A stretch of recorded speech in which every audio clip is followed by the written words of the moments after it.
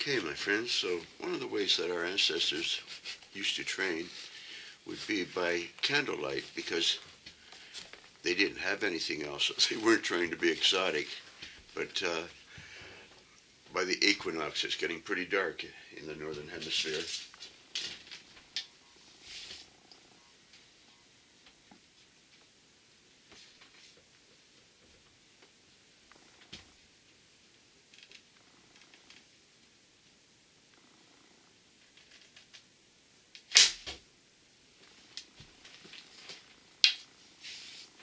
In the dark, it's much more touchy feely, you might say.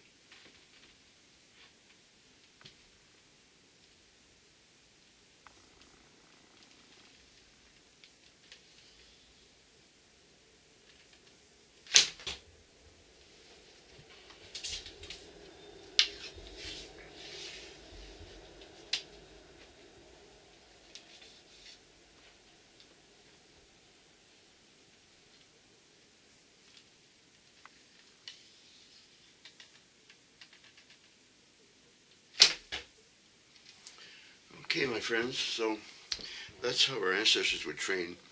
Um, you might say sort of monk style, but uh, it's all done with the left and right hand, boys, being coordinated. And uh, let's see if we can see that. Might focus. Well, I don't really see it. So, okay, hang on. It's kind of dark in here.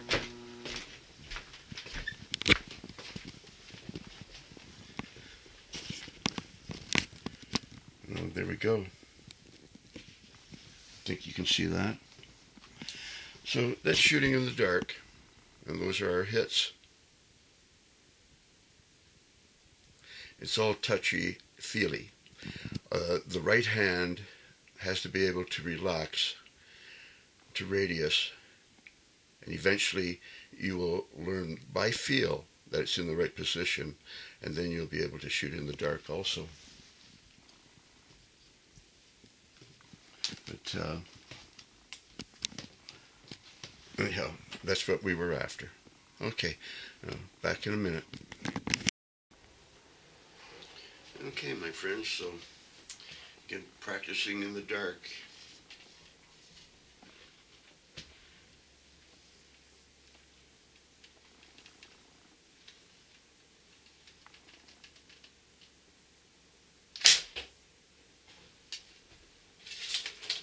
That's how you can practice your form.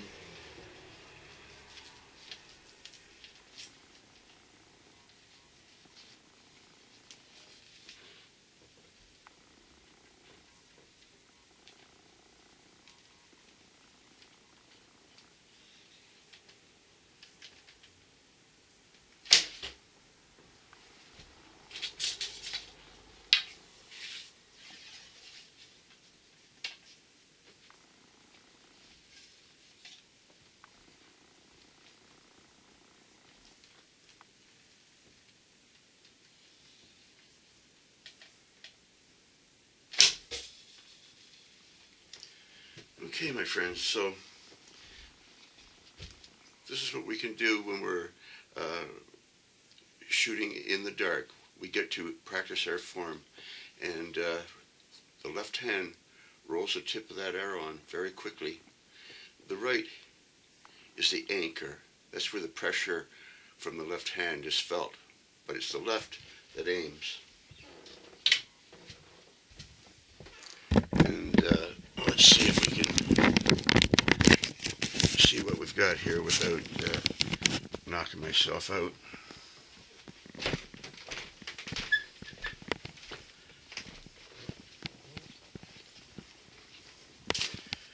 Yeah, there's our hits. Those two are really nice and close, but uh, you can sort of see that uh, we can shoot quite well in the dark. Okay, boys, Back in a minute. Okay, my friends. So again, we're shooting in the dark.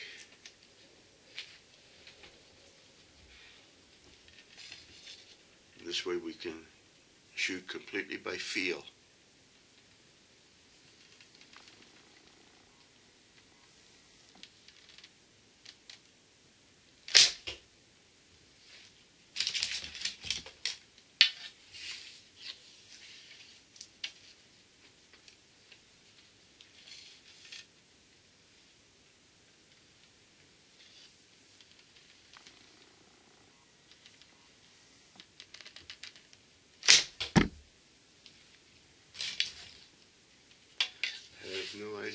One.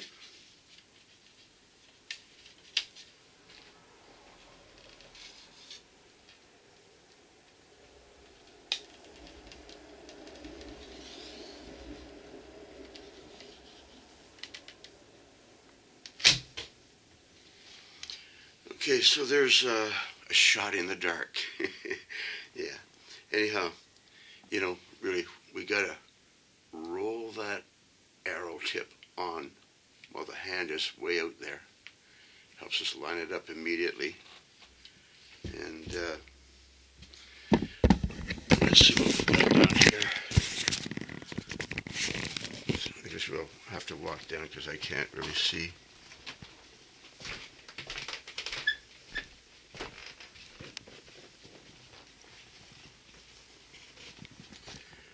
Okay, so there's our three hits. Light on here.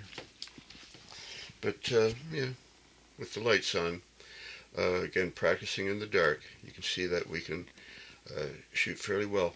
It's just a matter of holding it on. The left hand is the one that aims, that's the one that points, and the right hand holds the pressure, and uh, that's where you press from the right hand is so important. You have to be able to relax it, radius your fingers, I call it, so the arrow is pointing. But this is being done by feel in the dark, and uh, you can see. Where's the light? Anyhow, you can see that it's fairly dark, and uh, that's what we're getting. Okay, so that's what I'm training you to do. Okay, back in a minute. Okay, guys, so let's continue on training in the dark.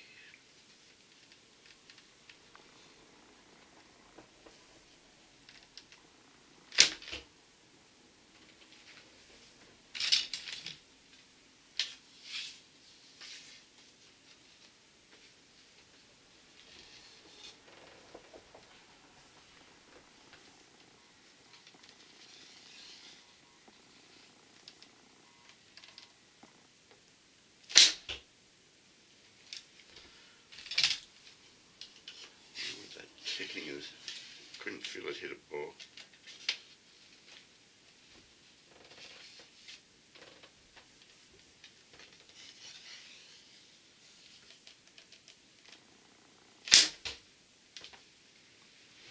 Anyhow, basically what we want to do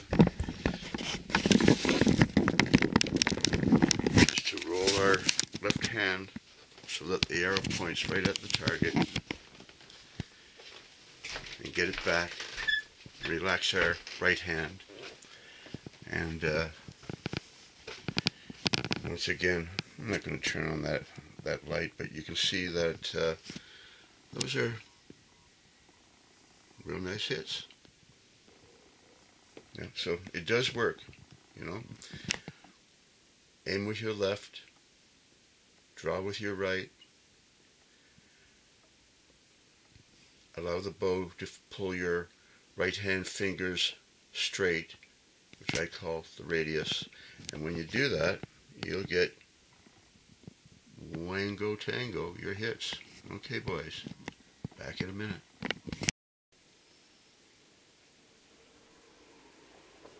Well, welcome aboard, my boys, from the spirit of Christmas past.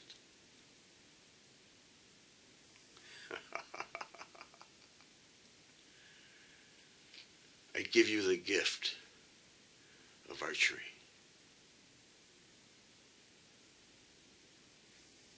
In its simplicity and in its finer form. Tilt your head. Once you tilt your head, lift up your back foot and just put it down. Your head will stay on that angle. That's all you need to know for head placement. Tilt your head, pick up your back foot, put it down. You're in position. When you put your arrow up, you'll see that it will point off to the left if you're right-handed. Immediately roll your left hand until the arrow goes straight. And your right hand, when you do that little movement of like that, your arrow will already be lined up to the target. Now you begin to draw with both eyes open, preferably. Not necessarily, but both eyes open and draw towards your right eye. It's under the right eye that the aim is taken. So from out here, get that arrow very close to your right eye. And it's very easy to line up from that position. Not from out here, from here. Roll out here, but aim from here. When you get back, I use the occipital position. I take my thumb and stick it in behind my ear on the back of my jaw. Gives me a very steady anchor. Now I'm relaxing my hand so I don't have any tension in my arm or my wrist or my hand. All the pressure is felt on my fingers right in the first joint. When that arrow's lined up,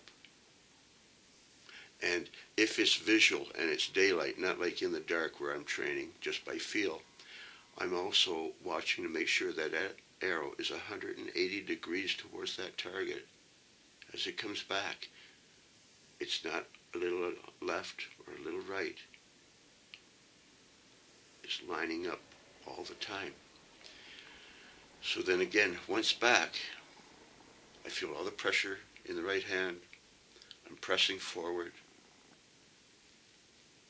Away it goes. That's your lesson. That's your lesson for today. Okay, boys. So uh, I'll talk to you in a minute, but that's the archery. Remember, it's the 25th of December. The days are getting longer. The sun is rising in the heavens every day. okay, boys. Back in a minute.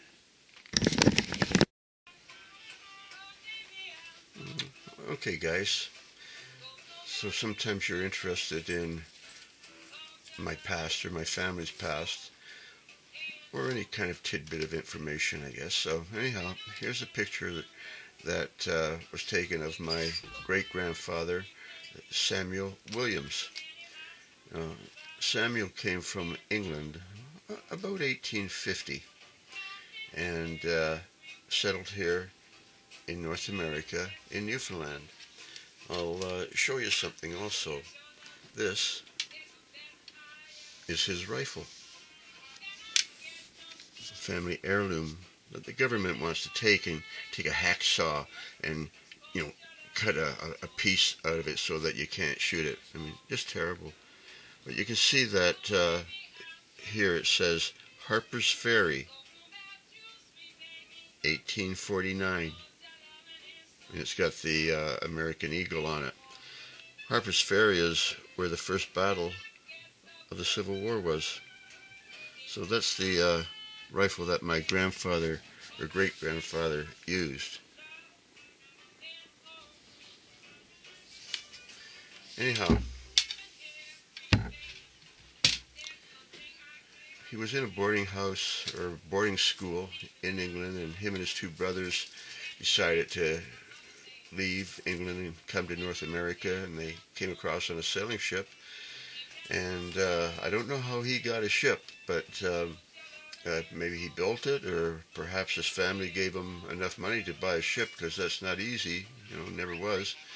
But he had a ship, and uh, he sent it to England sometimes to get uh, yard goods and uh, different supplies, iron, things like that. The uh, he also sent it down to uh, places like Jamaica to get uh, molasses to trade, and uh, also they would go down to places like New York and Boston, and also get uh, gunpowder and flour and salt pork and again molasses, you know nails, anything like that. Cloth. People used to need cloth to make clothes. Uh, lots of fishing line and uh, lead for that, you know. So anyhow, uh, he was a trader, and uh, he had a store in uh, Fortune Bay, Newfoundland, in Pools Cove, which was the biggest store on the south coast at that time, I hear. And smaller stores would go to his place and uh, buy goods that he's brought in from other countries. So that was uh, my grandfather, or great grandfather. And uh, he was a religious man. He was born a Catholic and uh, came to Newfoundland and moved to a town, uh, Pools Cove, and it was a Protestant town. And it was very dangerous to be a Catholic in a Protestant town or vice versa. So, anyhow, he decided to become a Protestant. And uh, he actually built the church, or paid for the church to be built in Newfoundland, which is uh, a church that's still there, maintained. And uh, that's what he was doing. Uh, one thing that happened was that uh, his store burnt down, or first store burnt down, and he wouldn't let anybody go in and try to save it because of the kerosene and uh, the gunpowder. He was afraid would go off and, and kill people, so he just got everybody to stay away and took a great loss there. But uh, he was married twice, and uh, uh, he, he had uh, a couple sayings like, none of us will get out of this world alive, which is kind of a common saying, you know. But he also said, no matter how tough you think you are, there's always someone tougher. So he was the businessman. Uh, he had again two wives, and uh, he had uh, eight children altogether from the two wives. Uh, one of them being my my grandfather, Jake, Jacob Williams. And uh, the, the, Williamses, you know, that's a, a, common name in, in England. So anyhow, uh, this is the kind of thing that he was doing in Pools Cove. And when he got really old, uh, what happened was he was actually having another ship built. And he went down a border, and they say he tripped and fell down and hurt his back and turned yellow and uh, died in about four days. Uh, and he was worried about his soul, so he was religious. But uh, I think what happened to my great grandfather was probably he had liver cancer. I don't think he just tripped and fell down on, on board the ship he was having built. I, think that uh, he was probably weak and very sick and uh, finally just fell down. And um, that was that, you know. He just couldn't go on any farther. And the fact that he turned yellow, that's a sign of, of liver, you know. Probably the liver cancer got to him. And uh, he's buried there in, in Pools Cove. Uh, my mother said that when she was a, a little girl, uh, uh, she can remember his ship leaving the harbor, and as the men put up the sails, they were singing, uh, We left New York the middle of May, bound down for Newfoundland. She remembers those words. And uh, the ship sank in the harbor, and um, when she was a little girl, and uh, I guess he was gone by then, so she was just tied up, and finally she rotted and sank in a, in a storm. And my mother said that when she was a little girl, they would go out and look down in the water and uh, they could see the uh, the plates where the tide had pulled the plates out of the, the galley, and they were strewn along the uh, the bottom of the ocean. And uh, the masts were sticking up for a long time, so at low tide, men went out and got saws and cut the masts off so that uh, boats wouldn't hit them. And uh, you know, that's the story of Samuel Williams. well, I hope you enjoyed that. Anyhow, you guys have fun. Have a Merry Christmas. I'll talk to you later. Bye now.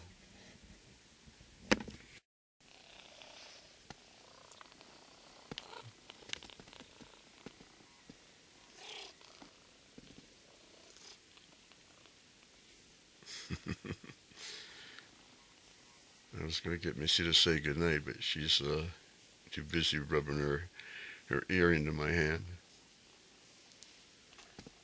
Cats like to pet themselves for some reason. They'll stick their head right in your hand. Pet me. Yeah, she's a sweetheart. Shake your head off. Okay.